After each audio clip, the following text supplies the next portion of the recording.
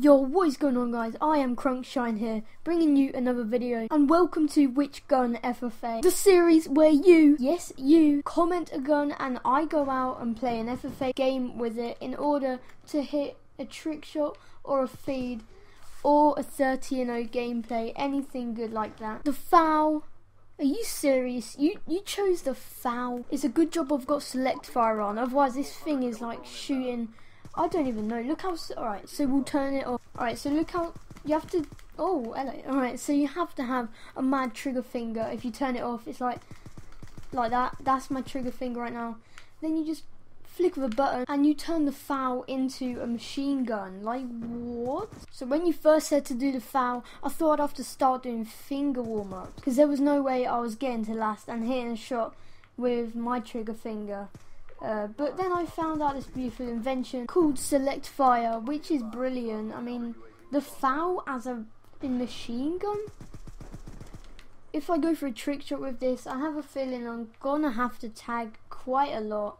Otherwise, I will hit marker. Because you have to spray them so much just to get a kill. And it's actually quite annoying. Like, it is overpowered as hell, but I'm not doing very well at the moment.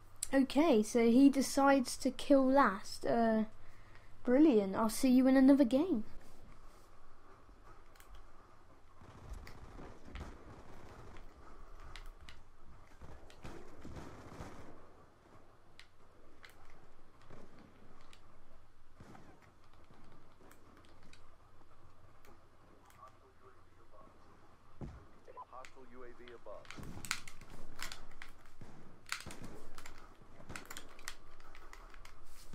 Wow. So they're pretty mad, but I got the hit marker. Hopefully I can get a shot. I tagged them.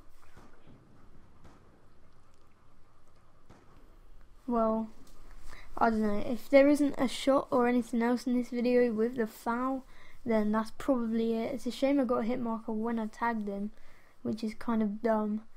But I'll probably try and hit another shot.